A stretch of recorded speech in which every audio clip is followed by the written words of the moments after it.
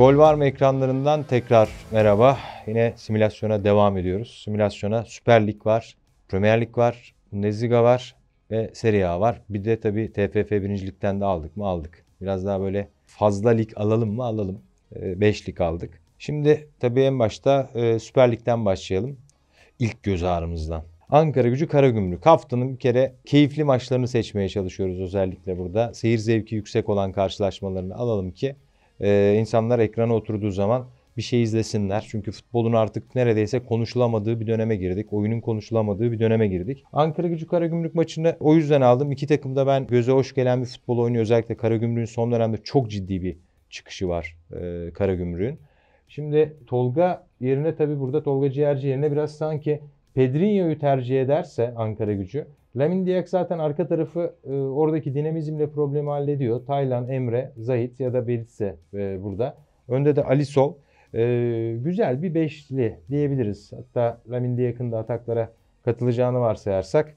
E, hatta Ankara gücünde tabii ki Malkuit te hücumlara çok fazla destek veren bir bek olmasından mütevellit e, Ankara gücünün maçta gollerini izleriz. Karagümrük cephesinde de izler miyiz? E tabi yani Koli'nin, Kazım'ın, e, Borini'nin olduğu bir takımda e, art, arkada işte Ozdeo, Bertolacci. Ben bir tek orada şeye karşıyım, Şukurov'a karşıyım. Yani Şukurov bu takımda o pas ritmini sağlayamıyor. Sanki biraz daha geç girerse ya da girmezse daha iyi olacak gibi. Ben o yüzden haftanın e, gollü karşılaşmalarından biri olacağına inanıyorum. Ankara gücü. Karagümrük, Fatih Karagümrük mücadelesinin yüksek gol beklentisiyle izleyeceğimiz bir karşılaşma olacak diyebiliriz. Geçelim yine güzel müsabakalardan biri Antalya Spor Gaziantep Futbol Kulübü müsabakasına.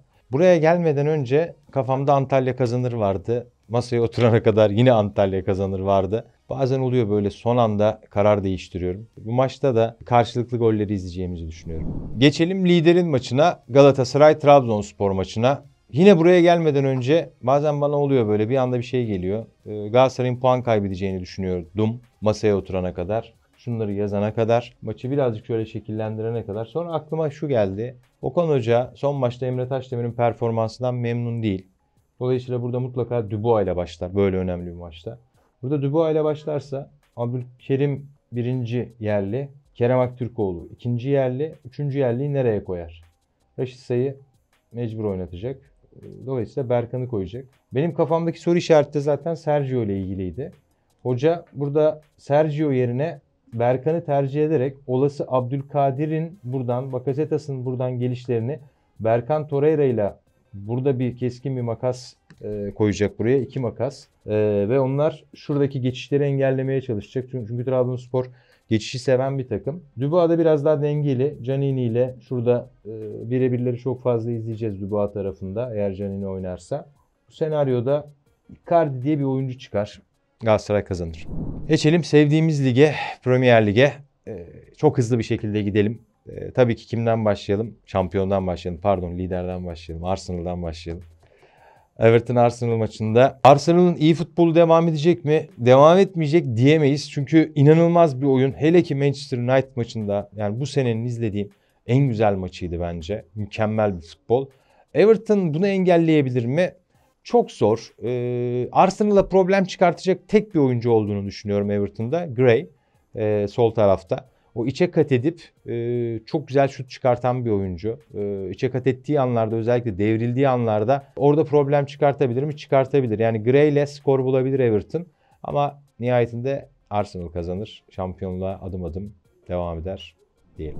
E, ikinci maçımız tabii yine sevdiğimiz takımlar, iyi oynayan takımlardan Brighton'ımız. Brighton Bournemouth mücadelesinde. Çok şükür ki Graham Potter bu takımdan gitti. ben bir Brighton'lı olarak içinden, merkezden. E, açıkça seviniyorum ve Chelsea'nin de inanamadığım şu transferlerine. Hadi bunlara inanıyorum da hani bu kadar iyi transfer yapıp da bu kadar pardon e, bütçeli transferler yapıp da bu takımı Graham Potter'a emanet etmek yazık. Başka hiçbir şey söyleyemem hani bununla ilgili. Çok yazık oluyor. Brighton'da tabii ki Trossard gittikten sonra orada problem çekeceklerini düşündüm ama Mitoma gerçekten de çok iyi işler yapmaya başladı. İşte Welbeck bir tarafta ama sağ tarafta Solimarş ya bence yine abartılması gereken oyunculardan biri ama abartılmıyor. Çok enteresan. Trossard da oyunculardan biri, biriydi. E, Gross'la Caicedo'yla Gilmore'la orayı da tutmayı e, gayet iyi başarabilen bir takım bence. Sadece savunmada Louis Dunk'ı beğenmiyorum çok fazla. Ağır kalabiliyor. Gol yerler mi? Gol yiyebilirler belki ama e, maçı kazanacaklarını düşünüyorum Brighton'ın. Brighton maçı kazanır. Geçelim hangi maça? Newcastle United West Ham maçına. Newcastle iyi oyun oynuyor. İyi oynayan takımlardan biri. Özellikle Premier Lig'de bu sene 6-7 takım sayabiliyoruz. İyi oyunu e, oynayan, göze hoş gelen. Joelinton, Almiron, e, Wilson, yedek kulübesinden Sam Maximin. Oldukça iyi bir hücum attı bu. Sam Maximin'i çok beğenmesem de bazen özellikle son 1,5 senedir çok kendine oynayan bir oyuncu oldu hep. Takıma çok zarar verdi. Zaten ne zaman Sam Maximin'i kestiler orada bir çıkış başladı Newcastle United'da. Ee, bu hafta ben Newcastle United'ın kazanacağını düşünüyorum. Geçelim Tottenham Manchester City maçına. Tottenham bu maçta City'ye problem çıkartacak diye düşünüyorum. Manchester City puan kayıplarına bir yenisini daha ekleyecek diye düşünüyorum. Tottenham bir şekilde puan almayı becerecek. Geçelim Bundesliga'ya. Bundesliga'dan da bir iki maç. Güzel maçlardan biri. Union Berlin Mainz maçı. E, kağıt üstünde Union Berlin çok favori gibi gözüküyor ama Mainz'da çok kurt bir hoca var. Bo Svensson hocam. Ben bu hafta sanki Union Berlin'e ciddi bir problem çıkartacaklarını düşünüyorum ve puansız dönmeyeceklerini düşünüyorum Union Berlin deplasmanından. Bayern Münih şampiyonluğunu kolaylaştırmak için e, elinden geleni yapacak bence Mainz. Bo Svensson hoca. Şu anda 37 puanla Bayern Münih lider. Union Berlin 36 puanda. E, ama bu hafta e, sanki Union Berlin'in bu büyüsü e, biraz bozulacak gibi geliyor. Mainz puansız ayrılmaz Berlin'den. Geçelim yine sevdiğimiz takımlardan birine Mönchengladbach Schalke maçına. Çok harika bir Mönchengladbach var mı? Yok ama iyi hücum hattına sahip takımlardan biri. Bundesliga'nın iyi hücumcularına sahip. Thuram gibi işte Stindl, Kramer, e, Hoffman hatta Plea'nın yedek oturduğu bir takımdan bahsediyoruz. E, ben Schalke'nin gelini çok rahat aşacaklarını düşünüyorum. Yani 2-3 e, tane sıkıştırır Schalke'ye bence Mönchengladbach ve yoluna devam eder. Serie A'dan bir tabii ki derbi almazsak olmaz. Çocukluğumuzun derbisi, Inter Milan derbisi. Ee, Milan'ın oynadığı oyun kimi zaman evet güzel oyunları oynayabilen bir takım ama genel olarak bir e, sezon özeti yapmak gerekirse Inter'in oyunu daha çok e, göze hoş gelen bir oyunu olduğunu düşünüyorum. Daha disiplinli oynadıklarını düşünüyorum. O yüzden Milano derbisinde kazanan Inter olacaktır. E, haftanın bir diğer maçı yine sevdiğimiz takımlardan biri Verona. Verona ve Lazio'nun mücadelesi. Sevdiğimiz takım tabii ki Verona değil Lazio. E, Lazio Verona deplasmanından bence o da iki tane atar diyelim. Böyle şey de verelim bu hafta böyle kaç gol olur falan. En az iki tane e, Lazio golü izleriz. Lazio kazanır. Bizim liglerden yine birinci ligden bir maç alalım.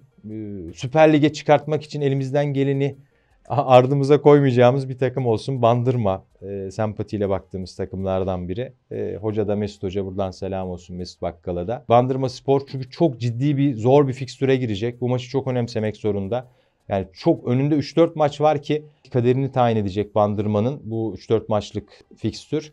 Dolayısıyla işlerinde görece en kolayı Denizli Spor. Burada zaten problem yaşarlarsa çıkmaları zor olur ama ben bir sürpriz yaşayacaklarını düşünmüyorum. Mesut Bakkal'ın Bandırma Sporu bence kazanır. Bahar aylarında da şöyle bir bir bandırma bir de Eskişehir spor maçlarına gitmek istiyorum e, diyelim. Son e, Büşra az evvel hatırlattı ya dedi e, Napoli'yi almamışsın hayırdır dedi. Napoli'yi almadım çünkü çok zor belki ama yani Spezia gibi bir takıma karşı Napoli'nin puan kaybetmesi hiç beklenemez. Yani evet kağıt üstünde şunu söyleyebiliyorsun. Ya Napoli farklı kazanır diyebiliyorsun ama ben böyle maçlarda çok ilginç şeyler olabildiğini hep gördüğüm için Spezia Napoli maçını almadım. Böyle maçlarda genelde sürpriz olabiliyor. Ee, çok kolay gözüken maçlarda. O yüzden şöyle tahtaya yatırmadık Spezia Napoli maçını ama bir sürpriz yaşanırsa benim için sürpriz olmaz. Gol var mı simülasyonu bu haftalık bu kadar. Ee, yukarıda uygulamamız var. Gol var mı uygulaması. Şuradan indirebilirseniz. Ee, benim de çok kullandığım uygulama. Maç içerisinde özellikle istatistik vesaire bazı şeylere bakıyorum, kontrol ediyorum. Reklam yok en azından buna çok şükrediyorum. Çünkü hani reklam olduğu zaman gerçekten dayanılmaz oluyor. Yani o reklam çıktığı anda tabii ki hepsi para kazanmak zorunda vesaire eyvallah ama yani o an çok acil bir şekilde bakman gerekiyor. 10 saniye 7 saniye reklamı bekle falan. Şu an gol var mı uygulaması reklamsızken bence hemen indirin. Ee, ilave olarak bir de e, çok yeni bir oyun. E, bizim sponsorluğumuzda mı diyelim ne diyelim onu tam kestiremiyorum. Böyle içimden bu tamamen içimden geldi. Yeni bir oyun piyasaya çıktı, çıkacak. Ha çıktı, ha çıkacak. Düzeltiyor. Çıkmadı çıkmadı diye Sezgin. Çıkmadı daha çıkacak. Scars of Honor o, oyunu. Ben de indireceğim mi artık, alacağım mı bilmiyorum ama bir çok merak ettim oyunu gerçekten de. Burada belki oynarız hatta Cüneyt Kaşar'la iki oynayamayan nasıl oynar diye. Ee, belki burada tanıtımını da yaparız. Ee, oyunla da ilgili yavaş yavaş piyasaya geliyor. Herkesin de merakla beklediği. O oyunda bakalım biz de oynayalım neler olacak. Kanala abone olduğunuz için ya da olacağınız için, like attığınız için ya da atacağınız için, yorum yazdığınız ya da yazacağınız için e, teşekkür ederiz. Yazmıyorsanız da, abone olmasanız da problem yok. Canınız sağ olsun. Kendinize iyi bakın.